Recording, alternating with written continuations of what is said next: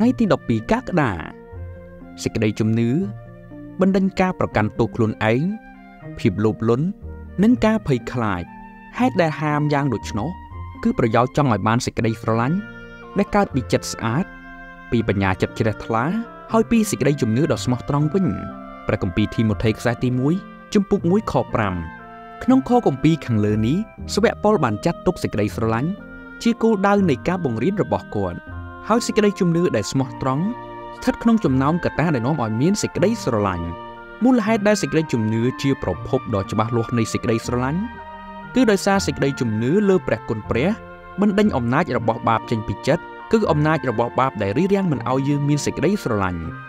បើយើងមានអារម្មណ៍ប្រកាន់ទុកខ្លួនឯង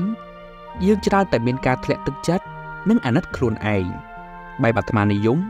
ដែលមិនអាចមើលឃើញកុំថាឡើយយកចិត្តទុកដាក់ ចំពោះតម្រូវការរបស់អ្នកដទៃឬមួយយើងរស់នៅជាមនុស្សមានពុតដោយលាក់កំបាំងកំហុសខ្លួនឯងដែលបានបំផ្លាញភាពស្មោះត្រង់ក្នុងទំនាក់ទំនងដែលធ្វើឲ្យសេចក្តីស្រឡាញ់ពិតប្រាកដមិនអាចកើតមានពុំនោះទេ យើងនិយាយអំពីកំហុសរបស់អ្នកដទៃដើម្បីឲ្យគេមើលមើលកំហុសយើង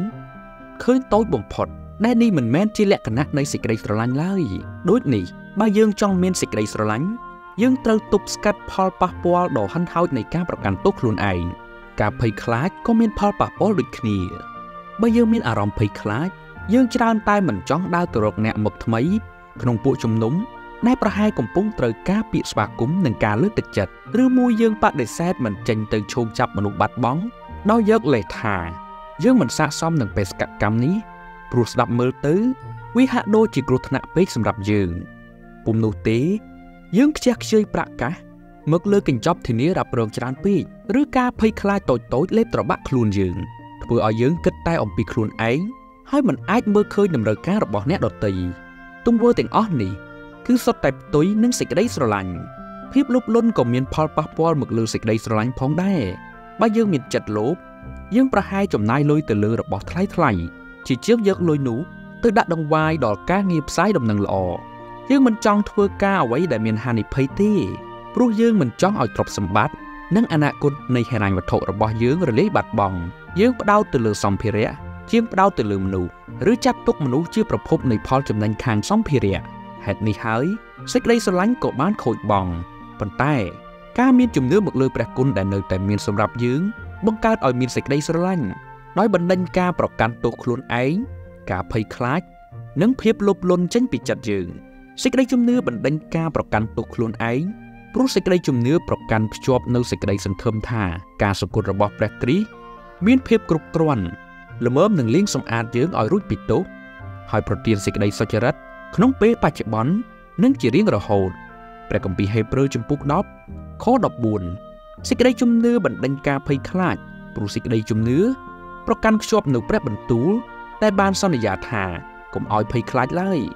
ត្បិតអញនៅជាមួយនឹងឯងអញនឹងចម្រើនកម្លាំងដល់ឯងអើអញនឹងជួយឯងអើអញនឹងទ្រឯងដោយដៃស្ដាំដ៏សុចរិតរបស់អញព្រះគម្ពីរអេសាយជំពូក41ខ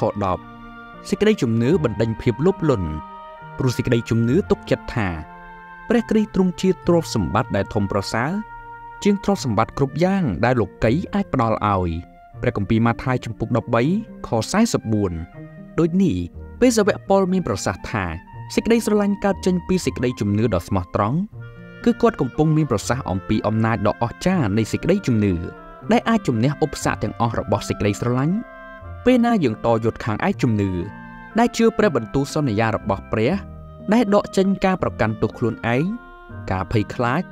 និងភាពលោភលន់នោះគឺយើងកំពុងតយុទ្ធដើម្បីឲ្យបានសេចក្តីស្រឡាញ់